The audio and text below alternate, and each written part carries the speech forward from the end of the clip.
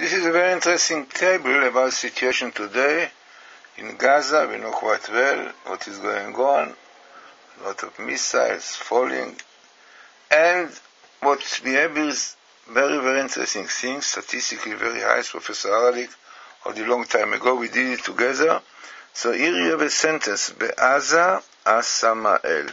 In Aza is the evil angel, Samael.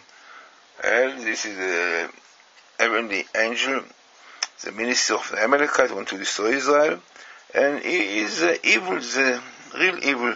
Amazingly, in this long sentence, once in the Torah, continuation, Ra is evil, evil, Ra.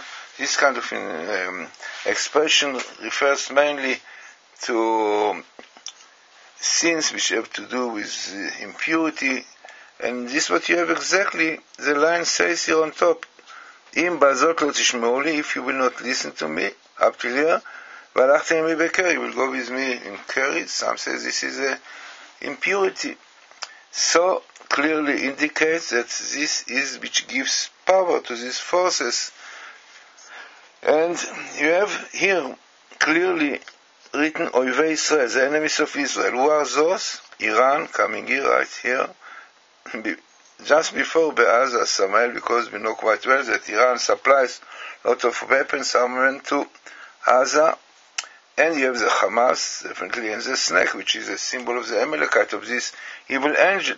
Now you have the enemies also, Fatah coming here, Hamas coming here, and you have also Edom, unfortunately, this is the Russia, China, but the Egypt now being really controlled by the Islamic brothers, so no doubt that they are very close to Hamas and lot of hatred to Jews am oivai. They there my enemy.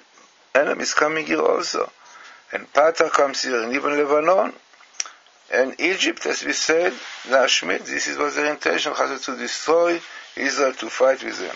So looking at this table, as we said, very, very interesting, once in the Torah, Be'aza Samael, and which is based on Kabbalah. Kabbalah says, Mafzeh Torah Kabbalah says that Aza, if you take the numerical value of the inner letters of those Ein, Zayin, A, you come to this numerical value of Samael. So a lot of clear indications that the source of the problems that we have today, the fightings, especially apparently Tafshin and Bez this year, 5772, is because of these evil forces, and the only way to get rid out of them completely is only by doing tshuva, repentance, keep Torah, living moral life, definitely modesty, tznius, studying Torah, because studying Torah is the main power against the Amalekite.